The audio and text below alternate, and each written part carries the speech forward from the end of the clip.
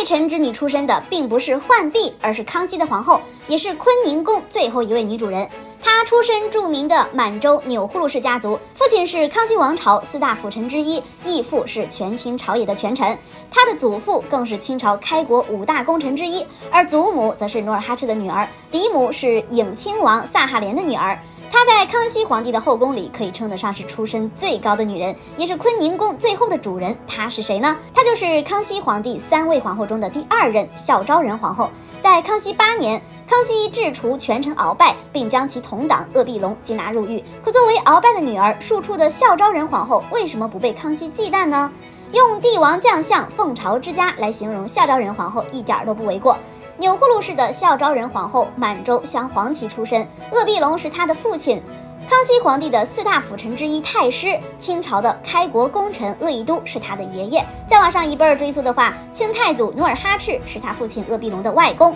清太祖皇太极是他父亲的舅舅，清世祖顺治是他父亲的姑表兄，也就是他父亲是康熙皇帝的表叔。亲上加亲的话，他的父亲鄂必龙两任妻子都是亲王家出身，结发妻子是英亲王阿济格的女儿，继室则是李亲王代善舅舅的孙女。表兄颖亲王萨哈连的女儿，这样算起来，他的父亲还是皇家的女婿呢。孝昭仁皇后的嫂子是康熙孝成仁皇后的亲妹妹。从这个关系上来看，康熙与孝昭仁皇后的哥哥法喀是连襟。事实上，孝昭和康熙是表兄妹关系，怎么样，乱不乱？康熙皇帝真正掌握朝政大权是在康熙八年，他智取鳌拜的大权，对权臣鳌拜和鄂必龙进行了严惩，但也因此影响了满洲镶黄旗将领对他的忠心。康熙十五年正是平定三藩之乱的关键时期，此时康熙皇帝最需要的是得到八旗将领和满洲勋贵家族的支持。在孝庄太后的授意下，康熙将钮祜禄氏选纳入宫为妃。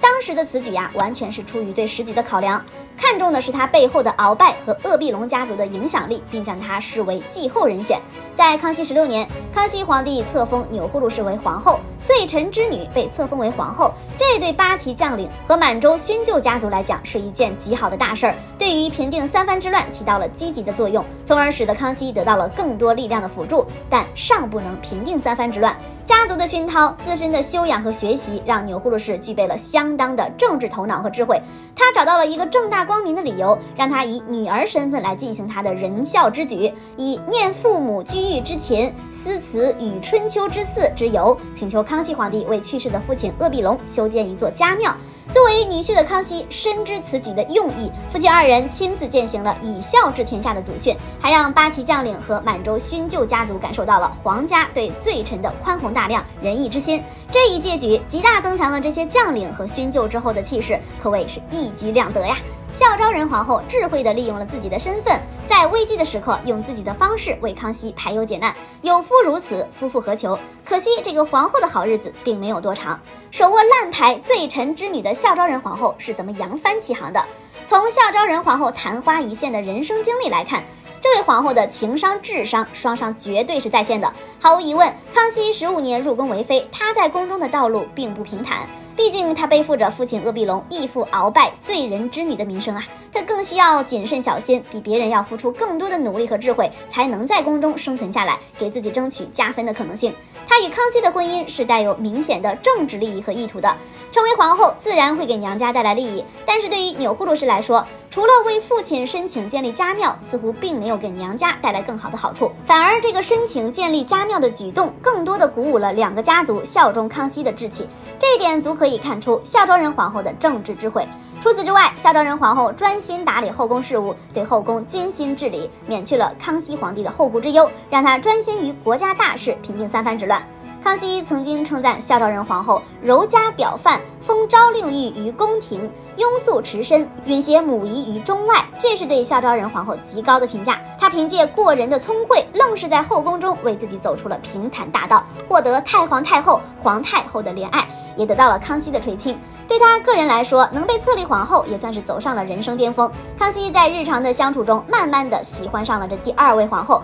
正当康熙和这位皇后想过过两个人的小日子的时候，皇后又生病了。康熙他到底有多晦气呢？他有个非常强的属性，那就是克妻了。康熙的发妻赫舍里氏和康熙同岁，十二岁便嫁给了他，可没多久他便难产去世了，仅仅只有二十一岁。皇后去世三年后，康熙的后宫生育过子嗣的有张氏、赵家氏、那拉氏、乌雅氏，还有包括钮祜禄氏、佟家氏、李氏、那拉氏、赫舍里氏等在内的诸妃子。在这么多妃子中，为什么偏偏册封钮祜禄氏为皇后呢？这与她本人秀外慧中、自身的实力不俗外，也与他显赫的家世有很大关系。在康熙五十七年以前，后宫所有的妃子中，当属钮祜禄氏的家世最高，所以这个皇后的人选必定是鄂必隆的女儿钮祜禄氏。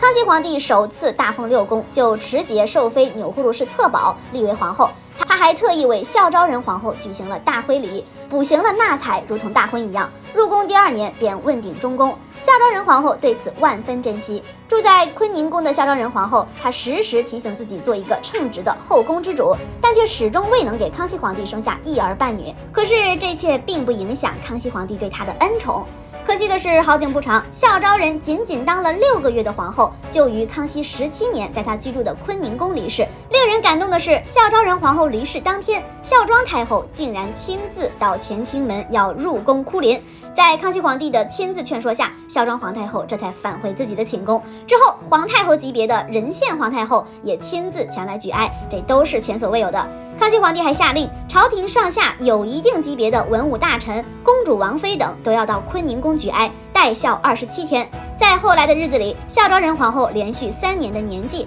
每到祭祀这一天，康熙皇帝都会亲自到巩华城进行祭奠，不理朝政，对亡妻也是用情至深。这位坤宁宫最后的女主人，孝昭仁皇后的人生昙花一现，却被康熙皇帝捧在了手心，也算是落得了一个完美的结局。